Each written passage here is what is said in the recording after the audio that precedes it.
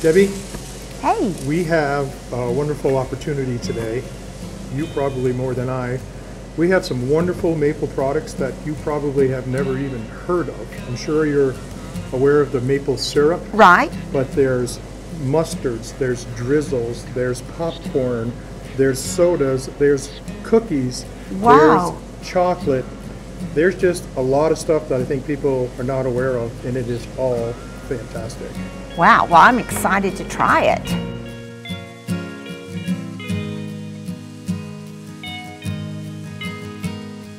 So Debbie, give me a little bit of your history uh, in terms of where you're from, and have you experienced any of these prior to, to this little um, tasting we had today? Well, Clyde, I am from Arkansas, so We would have never known. I know with my southern accent, love it, but it's important to me to try other cultures, even within the states. We'll start with the traditional maple syrup. You've probably had that on pancakes Yes. or or um, French toast or whatever. You can actually uh, incorporate it in baked beans. You can pour it over Oh. ice cream.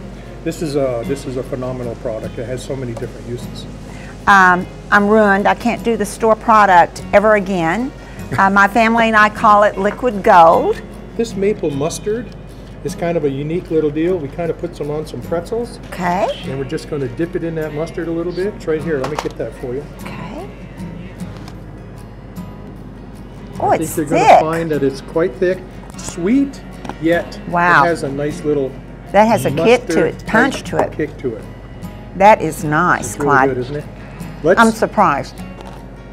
it is surprising. Mm-hmm. Strong. Just as surprising, but on the other end of the spectrum, maple drizzle. We're going from spicy. We're going to go to sweet again. We're going to take one of these little vanilla wafers. Help yourself. okay. We're going to put a little bit on there for you. Whoops. That's all right. And I'm going to try a little. Oh my. This is described, I believe, as uh, homemade apple pie in a jar.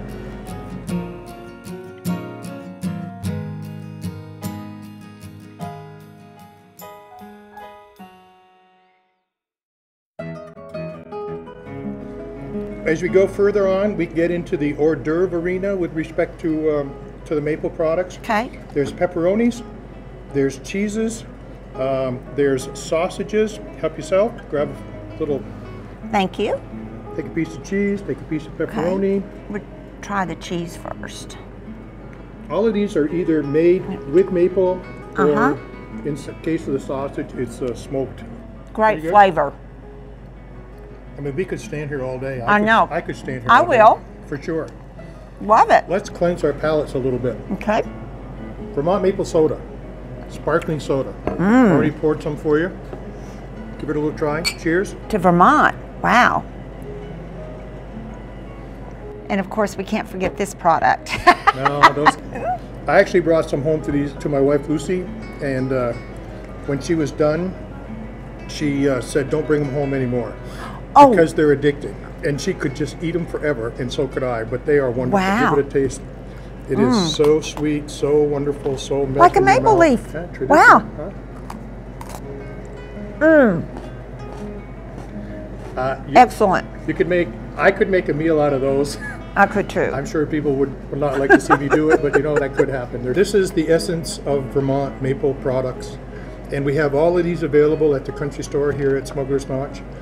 Uh, we're going to be having some tastings coming up this Okay. next uh, this coming weekend and the following two weeks, Okay. and we can't wait for folks to come over and give them a try. Cheers again. Cheers.